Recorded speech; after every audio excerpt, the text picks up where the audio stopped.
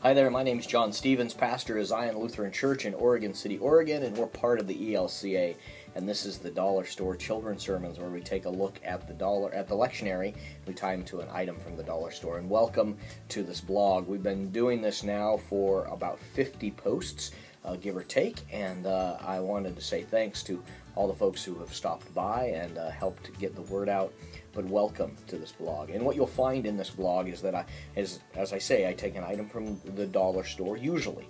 There's sometimes if there's one or two posts where the item isn't from the dollar store because you can make it. It still falls into the category of being ultra cheap and uh, you can make it with cardboard and a Sharpie or something like that. But for the most part, it's finding an item from the dollar store and uh, tying it to one of the readings um, and sometimes it's just an idea, something that I'm working on, or sometimes it's a flushed out idea and it's um, good to go. So um, I do uh, appreciate you stopping by. I try to get uh, numerous Sundays ahead uh, when I am able to do so, and I thanks for your patience when um, they fall behind. But uh, you'll always get the Sunday uh, up and coming early in the week at the latest, if not at least a couple of weeks ahead of time.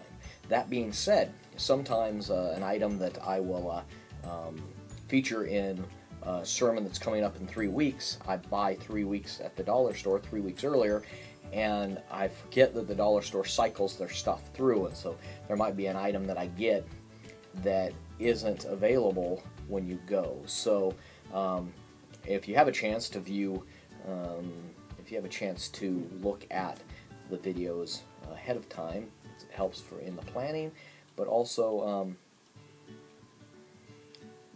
if you see an item that I'm using that isn't at the dollar store, there's a lot of times they'll have a comparable item or something that you use as a springboard. You go, okay, this is where John is going. I and I can't find that, but maybe this will work. Sometimes I'll use a light.